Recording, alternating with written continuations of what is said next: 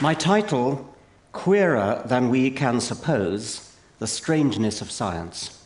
Queerer than we can suppose comes from J.B.S. Haldane, the famous biologist, who said, Now, my own suspicion is that the universe is not only queerer than we suppose, but queerer than we can suppose.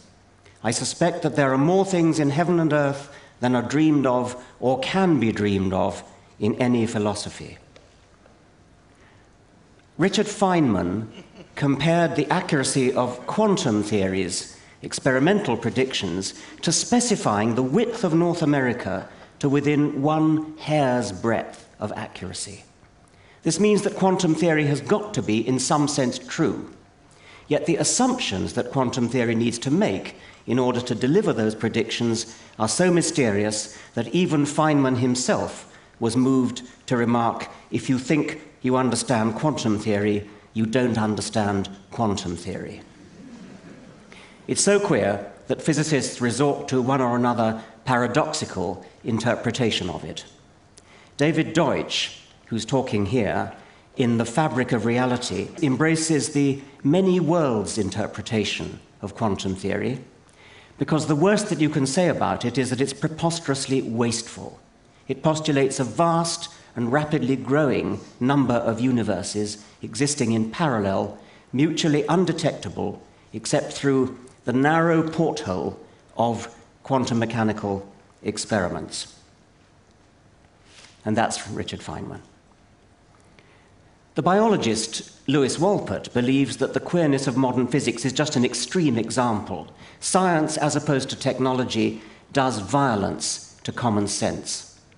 Every time you drink a glass of water, he points out, the odds are that you will imbibe at least one molecule that passed through the bladder of Oliver Cromwell. it's just elementary probability theory. The number of molecules per glassful is hugely greater than the number of glassfuls or bladders full in the world. And of course, there's nothing special about Cromwell or bladders. You have just breathed in a nitrogen atom that passed through the right lung of the third iguanodon to the left of the tall cycad tree. Queerer than we can suppose. What is it that makes us capable of supposing anything? And does this tell us anything about what we can suppose? Are there things about the universe that will be forever beyond our grasp, but not beyond the grasp of some superior intelligence? Are there things about the universe that are in principle ungraspable by any mind, however superior? The history of science has been one long series of violent brainstorms as successive generations have come to terms with increasing levels of queerness in the universe. We're now so used to the idea that the Earth spins rather than that the sun moves across the sky, it's hard for us to realize what a shattering mental revolution that must have been. After all, it seems obvious that the Earth is large and motionless, the sun small and mobile, but it's worth recalling Wittgenstein's remark on the subject. Tell me, he asked a friend, why do people always say it was natural for man to assume that the sun went round the Earth rather than that the earth was rotating. His friend replied, Well, obviously, because it just looks as though the sun is going round the earth. And Wittgenstein replied, Well, what would it have looked like if it had looked as though the earth was rotating? Science has taught us, against all intuition, that apparently solid things like crystals and rocks are really almost entirely composed of empty space. And the familiar illustration is the nucleus of an atom is a fly in the middle of a sports stadium, and the next atom is in the next sports stadium. So it would seem the hardest, solidest, densest rock is really almost entirely empty space, broken only by tiny particles so widely spaced they shouldn't count.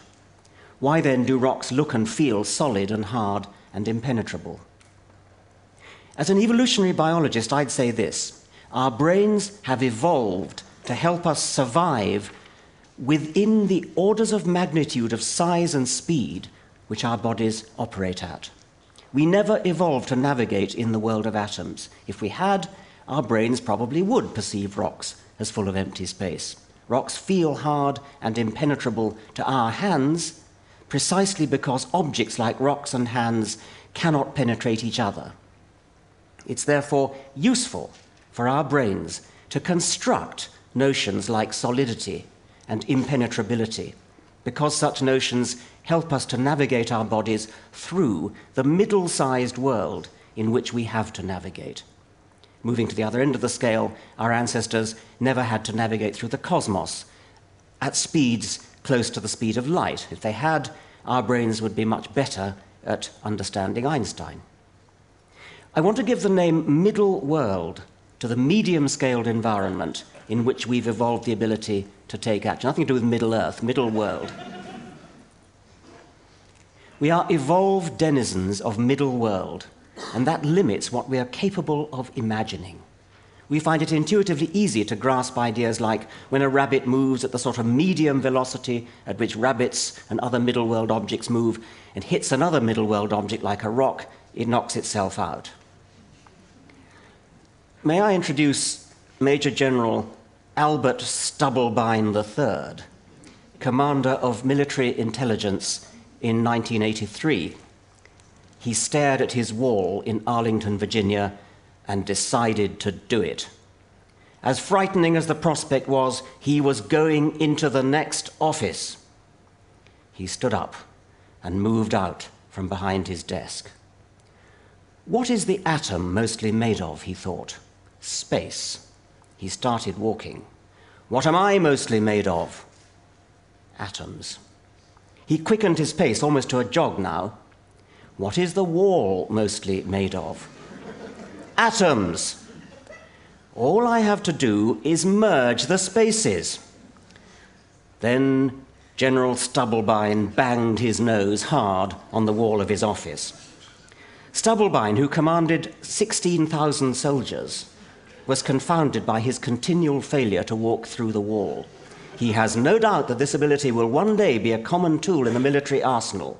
Who would screw around with an army that could do that? That's from an article in Playboy, which I was reading the other day.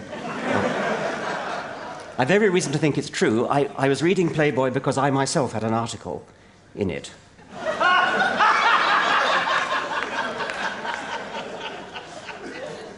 Unaided human intuition, schooled in middle world, finds it hard to believe Galileo when he tells us a heavy object and a light object, air friction aside, would hit the ground at the same instant. And that's because in middle world, air friction is always there.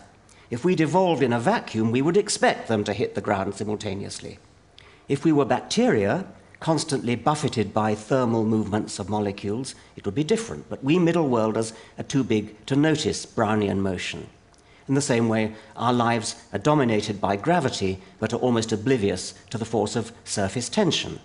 A small insect would reverse these priorities. Steve Grand, he's the one on the left, Douglas Adams is on the right. Steve Grand, in his book Creation, Life, and How to Make It, is positively scathing about our preoccupation with matter itself. We have this tendency to think that only solid, material things are really things at all. Waves of electromagnetic fluctuation in a vacuum seem unreal. Victorians thought the waves had to be waves in some material medium, the ether. But we find real matter comforting only because we've evolved to survive in middle world where matter is a useful fiction. A whirlpool for Steve Grand is a thing with just as much reality as a rock. In a desert plain in Tanzania, in the shadow of the volcano Oldonyo Lengai, there's a dune made of volcanic ash. The beautiful thing is that it moves bodily. It's what's technically known as a barkhan, and the entire dune walks across the desert in a westerly direction at a speed of about 17 meters per year.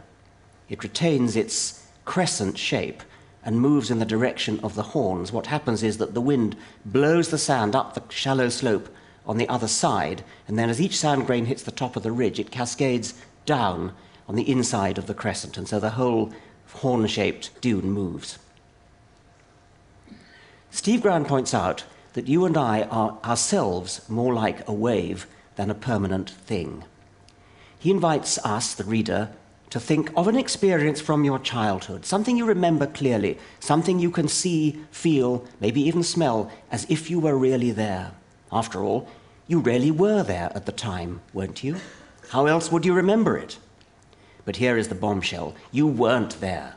Not a single atom that is in your body today was there when that event took place. Matter flows from place to place and momentarily comes together to be you. Whatever you are, therefore, you are not the stuff of which you are made. If that doesn't make the hair stand up on the back of your neck, read it again until it does, because it is important. So, really, isn't a word that we should use with simple confidence. If a neutrino had a brain which had evolved in neutrino sized ancestors, it would say that rocks really do consist of empty space. We have brains that evolved in medium sized ancestors which couldn't walk through rocks. Really, for an animal, is whatever its brain needs it to be in order to assist its survival. And because different species live in different worlds, there will be a discomforting variety of reallys. What we see of the real world is not the unvarnished world, but a model of the world, regulated and adjusted by sense data, but constructed so it's useful for dealing with the real world. The nature of the model depends on the kind of animal we are.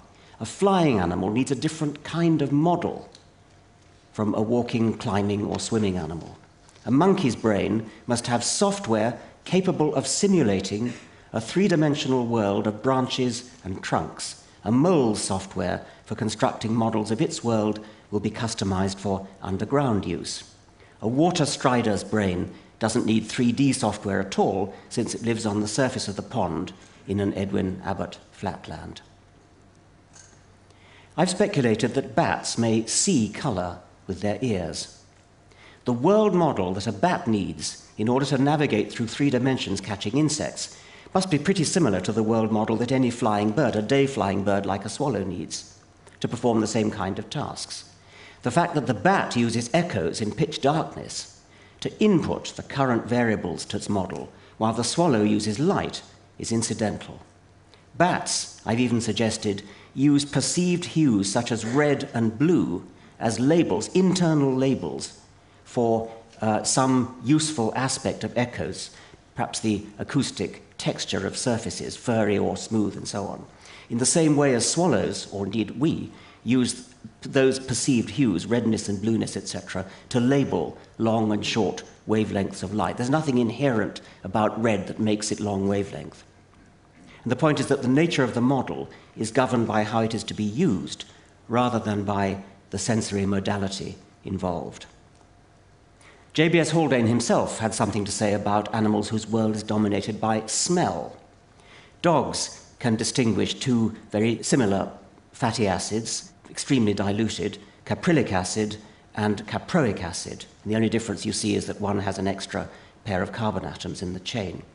Haldane guesses that a dog would probably be able to place the acids in the order of their molecular weights by their smells, just as a man could place a number of piano wires in the order of their lengths by means of their notes. Now, there's another fatty acid, capric acid, which is just like the other two, except that it has two more carbon atoms. A dog that had never met capric acid would perhaps have no more trouble imagining its smell than we would have trouble imagining a trumpet, say, playing one note higher than we've heard a trumpet play before.